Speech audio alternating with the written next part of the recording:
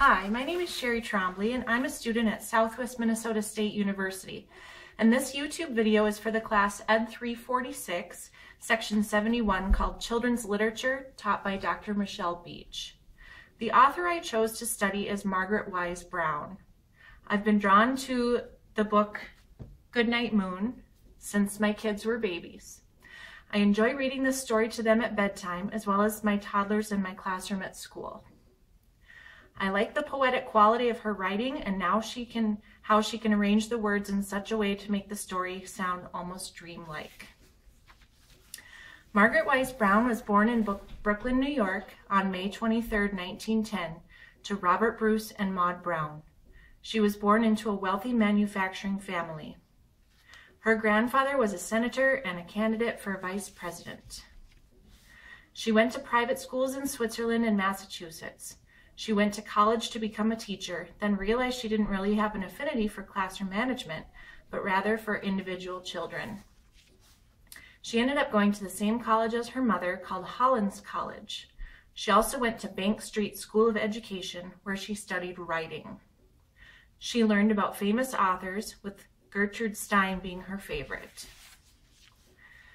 They both had similar themes that ran through their writings love of color, joy in ordinary objects, repetition, and unexpected variation. The Bank Street School of Education put an emphasis on the here and now of writing, which proliferated her work. Margaret Wise Brown is most well known for writing the favorite children's book called Goodnight Moon. However, many people don't know that she has authored more than 100 books during her short lifetime of only 42 years. Interestingly enough, in 1991, a trunk was discovered which held more than 500 typewritten pages of new stories by Margaret Wise Brown. Within these pages were manuscripts for 73 new children's books. During her lifetime, she told people that she would go to sleep and dream up new stories. She would wake up and write down these stories, and by the time she wrote them down, more ideas would pour in. In the margaretwisebrown.com long bio, it says, she kept six publishers busy with her prolific output and created pen names to keep from flooding the market with Margaret Wise Brown titles. A few things caught my attention about her eccentric personality. Her friends thought of her as a creative genius and sometimes as a child that never grew up. They thought that was why she was such a good, good children's author because she saw and told stories from a child's viewpoint. She was a beautiful green-eyed blonde, and her friends and her inner circle of friends included the wealthy and famous, royalty, and American aristocracy. She dated the Prince of Spain and a famous New York attorney. She had a fascinating flamboyancy to her. Once, after she received her first royalty check, she was walking along and saw a horse-drawn cart full of flowers, and she bought the entire cart. She proceeded to decorate her whole house with the flowers and threw her friends an extravagant party. She would sometimes hide bottles of wine in streams and shadows on her property so that friends would have a surprise refreshment on a hike. She even paid someone to put lobsters in her lobster traps to impress her guests. She once tied cherries and lemons to some of her indoor trees to make her guests think she had a green thumb. She encouraged her friends to think openly, and if one of them wanted it to be Christmas, she threw a party pretending to be Christmas. Her home was cozy and warm, and many of the things in her books came directly from her childhood home or bedroom. Margaret Wise Brown never had any children of her own and was never married although she did have a special talent of connecting with individual children and writing in the here and now perspective, wholly from the child's perspective. Let me share with you a few of the stories she wrote. One of the first books of hers I checked out is called Dirty Little Boy from 1939. It speaks of a boy who needs a bath, but his mother is busy washing laundry in the tub so she tells him to go out and watch how the animals clean themselves. In doing so, he gets even dirtier. Finally, his mother welcomes him back home and bathes him like a real boy. The next book I'd like to share is one of her more famous, called The Runaway Bunny, and it's from 1942. This book affectionately tells about a little bunny who keeps trying to run away from his mother. As a trout in a stream, a rock on a mountain, a crocus in a garden, and a sailboat, for example. Each time, Mama Bunny finds him and in the end welcomes him home with a hug. The next book from my collection is from 1944 called A Child's Goodnight Book and is also a Caldecott Honor Book. It is a small bedtime book where all the animals stop their noises and settle down for sleep. It ends with a prayer. Dear Father, hear and bless thy beasts and singing birds, and guard with tenderness small things that have no words.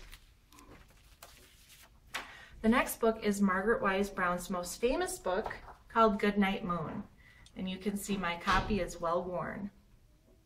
It was written in 1947. This story has long been in the hands of parents, rocking and lulling their children to sleep at night.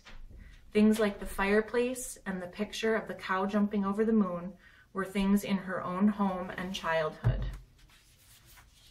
Some of the pictures and ideas are also dotted throughout some of her other books. The little bunny in the book is saying goodnight to all the things in his bedroom. Goodnight comb and goodnight brush. Goodnight nobody and goodnight mush. And just when the predictable rhythm of stanzas is thought to be over, there's kind of a coda.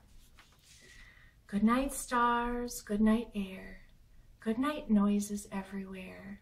And that's how the book ends. She knew that children can sometimes be afraid of noises, so she wrote this to reassure and comfort the child. To date, Goodnight Moon has sold more than 48 million copies, making it one of the best-selling children's books of all time. This book exemplifies the philosophy of writing in the here and now. Rather than write fairy or folk tales, she thought it better that children read about real things in their lives things they themselves can see, hear, taste, touch, and smell. The next book I'd like to share with you is called Love Songs of the Little Bear, first written in 1948. This book features four short stories, Love Song of the Little Bear, Green Song, Song of Wind, and Rain and Snow Song. Together, these stories describe different daily events happening in the life of the little bear.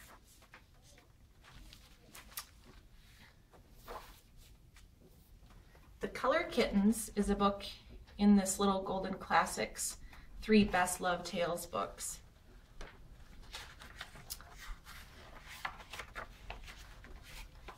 Here's an example of the colored kittens. It's a cute little story following kittens around as they mix primary colors to make all other colors. They were trying to make green for cats, eyes, grass, streams of water, and glass. They discovered at last that yellow and blue make green, so then that made them happy. Two Little Trains is also a book from 1949, and it's an imaginative story that follows one real-life train down the track, over the hills, through a tunnel, across a bridge, through a rainstorm and a snowstorm.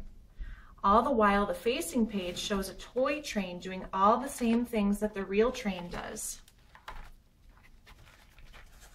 Just in a child's imagination around the house.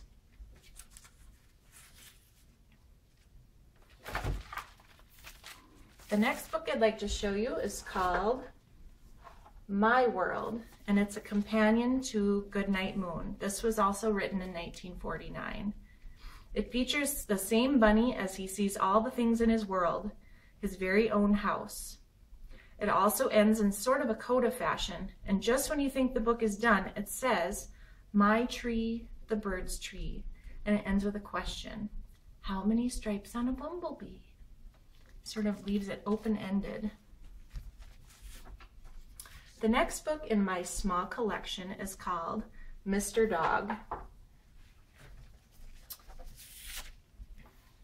The dog who belonged to himself. The main character is human-like with a two-story house, the same fireplace that we see in other Margaret Wise Brown stories, and Mr. Dog goes around doing whatever he wants. He meets a boy who also belongs to himself. They ended up living together in the dog's house and went to sleep after cleaning the house. Good night and sweet dreams. The next book was published after Margaret Wise Brown passed away. It's another favorite called The Big Red Barn, published in 1956. It features rhyming verse all about the big and little animals on the farm. Once again, the last three pages are a little of a surprise ending when you thought the book was already done. Let me read the last few pages and you'll see what I mean. The hens were sleeping on their nests. Even the roosters took a rest. The little black bats flew away out of the barn at the end of the day. And there they were all night long, sound asleep in the big red barn. You think that's the end, but it's not. Classic Margaret Wise Brown. Only the mice were left to play, rustling and squeaking in the hay, while the moon sailed high in the dark night sky. The final book I will share with you was also published posthumously in 1999 called Another Important Book. In it, we hear all about the important things of being a one-year-old, two, three, all the way up to six. The rhyming descriptions are timeless and accurate for all of the ages featured. And perhaps the best part of the book is the mirror at the end. Quite a surprise for kids who are expecting it to be over. So those are a few of the Margaret Wise Brown books that I've had to share with you, although there are many, many more. For a complete list of her works, you can visit www.goodreads.com. Just put Margaret Wise Brown in the search bar and you'll see the whole list pop up. I haven't mentioned the end of Margaret Brown's life, but I think it's really quite astounding. In the summer of 1952, she got engaged to James Pebble Rockefeller Jr., grandnephew of John D. Rockefeller. She went to France in the fall for business and ended up having an emergency appendectomy. She was to be on a strict bed rest. When it was time for her to leave the hospital, a nurse asked how she was doing, and in a flourish, she said, Grand! and jumped up and did a can-can kick. And unbeknownst to anyone, that kick dislodged a blood clot, causing an embolism, which killed her almost immediately. Her friends missed her terribly as the vibrant, childlike, flamboyant woman she was. Thank you so much for listening to my YouTube video about Margaret Wise Brown. Here's a list of all of the resources that I used to create this video.